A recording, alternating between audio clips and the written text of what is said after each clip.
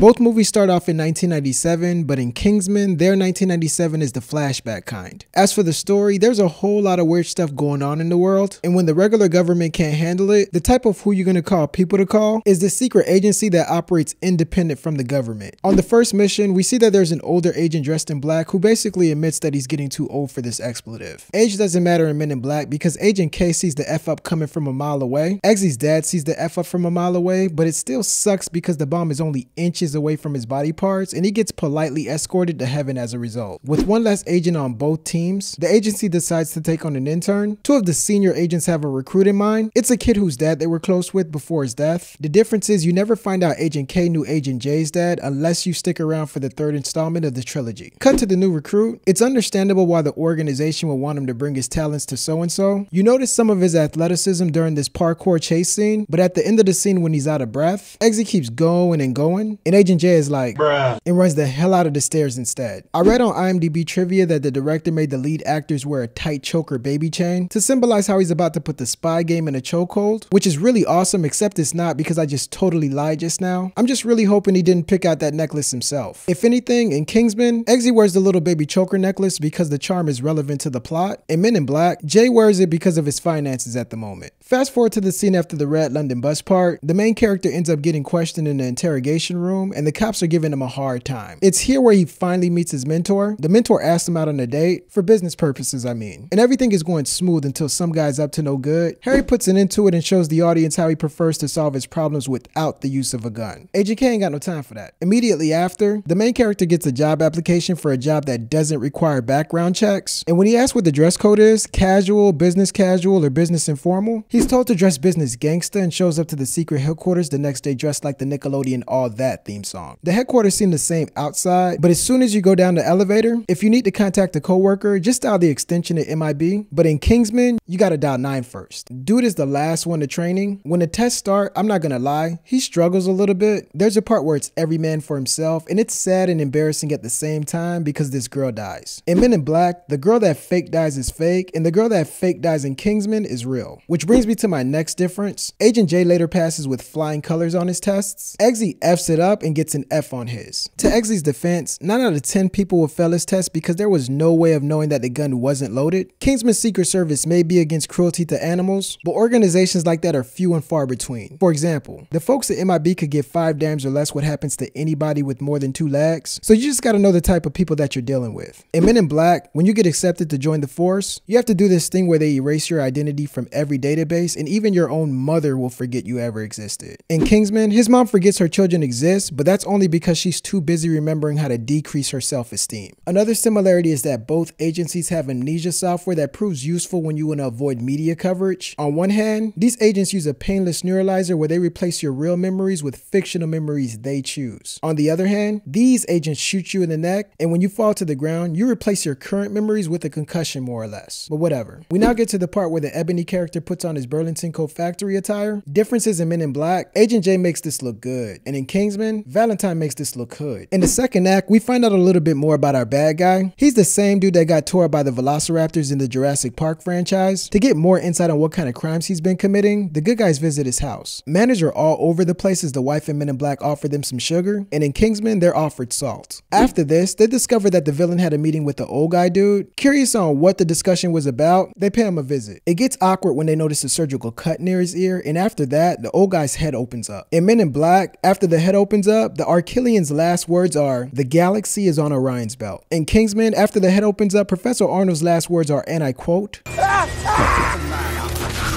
when they start doing research to dig up more data, you realize this movie could have been done way quicker if they used company equipment for company purposes. One uses it to spy on his coworkers, which you could argue he's doing his job since he's a spy in the first place, and the other uses it to spy on his former flame in a softcore pornish kind of way. Later on, Eggsy tells us he's light-fingered, so for all intents and purposes, he's better solving mysteries with his hands than a laptop anyway. Dude's so good with his hands. How good is he? He performed surgery on a dead body with no prior knowledge other than a YouTube tutorial. Earlier in in the film, Agent J did it too, but needed a special helper. The face you make when somebody tells you they're about to wipe out your entire planet and give you one hour to stop them. And the face you make when somebody tells you the exact same thing, but only give you two minutes. Afterwards, the bad guy gets real cliche and takes a female hostage. In Men in Black, he's all like, shut up, shut up, shut up. If you don't, I'm gonna have to take you to space with me. In Kingsman, Valentine doesn't bring up the space ultimatum because the chicks in that movie actually prefer it. Agent J and K go after the girl, and the car goes berserk after the young buck presses the button. The car goes berserk for Eggsy too, but the older buck presses the button though. Near the end of the movie, everything starts going crazy. There's a baseball stadium full of fictional depictions of Mets fans, the same exact scenes in Kingsman, but they fill the stadium with real Mets fans for a more realistic take. In one scene, the bad guy and the good guy share a face-to-face moment. Good guy Diz Eyes in Kingsman. The other good guy over here gets eaten up, but humans are like gum, so they can't be digested and could take up to two years to move through your intestinal activity properly if you don't use the bathroom three times a day. So he survives basically. After that, both bad guys get their torso punctured and their insides are all over the place. Differences in MIB, the monster's insides were full of Agent K, pause, because he ate them earlier, pause again. In Kingsman, he must have just ate spinach. At the end, the hero saves the hostage, she hands Eggsy some booty in Kingsman, and in Men in Black, she just hands Agent J a job application. And those are 24 reasons these movies are different, so truth or dare, like and share, leave a comment under there. If you don't, that's not fair. This thing took a week to prepare.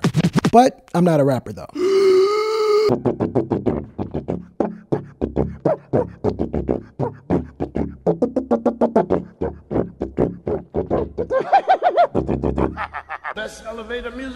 Best